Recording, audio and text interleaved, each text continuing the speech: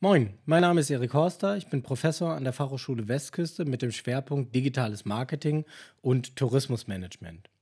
In diesem Video möchte ich Ihnen einmal das Tool Übersuggest vorstellen, was kostenfrei zur Verfügung steht und ähnlich funktioniert wie Google Suggest, wenn Sie also bei Google in den Suchschlitz einen Begriff eingeben und er Ihnen weitere Begriffe vorschlägt.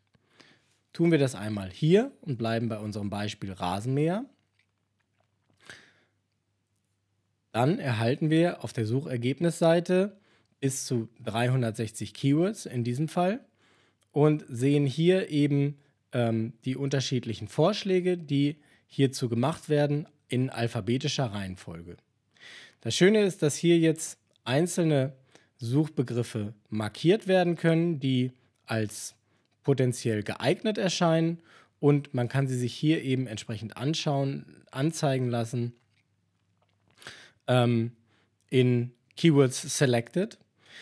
Und man kann eben dann auch weitere ähm, Keywords hier eingeben, bekommt eine weitere Ergebnisseite.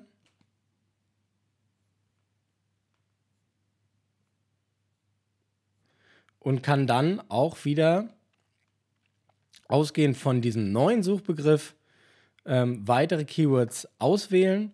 Und diese werden dann auch hier zusätzlich angezeigt. Und man kann sie sich dann als ähm, Liste anzeigen lassen und diese hinauskopieren aus dem Tool oder entsprechend das Ganze ähm, abspeichern, sodass Sie eben die Möglichkeit haben, hier auch mehrere Suchbegriffe hintereinander einzugeben und sich eine eigene Liste zu erstellen, die Sie dann entsprechend exportieren können. Hinzu kommt, dass Sie, und das ist ein spielerisches Tool, hier eine ähm, Word Cloud erstellen können, sodass Sie eben die wichtigsten Keywords für Ihren Suchbegriff dann auch nochmal in einer Word Cloud vorhanden haben.